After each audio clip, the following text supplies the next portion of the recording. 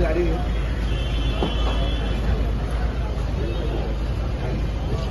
बाबा दो मिनट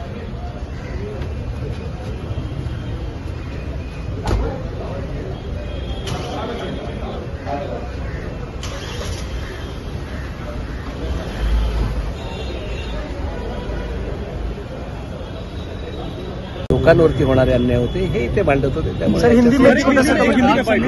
अस्पताल में मुलाकात करने पहुँची क्या कुछ स्थिति है क्या कुछ बात हुई आपकी? संदीप देशपांडे मेरे अच्छे दोस्त हैं और उन्होंने जो भी कुछ शिवाजी पार्क मैदान में मिट्टी का मामला सो या कोई बावड़ी का मामला सो वहाँ जो भ्रष्टाचार हुआ था ये कोरोना का वो बारे में भी उन्होंने बहुत आवाज़ उठाई उठाई थी। सड़े तोड़ मन सेने का जो धोरण है वो उसके ऊपर बोलते थे और इसलिए मुझे लगता है उसमें से कुछ होगा अभी पुलिस तलाश करेगी।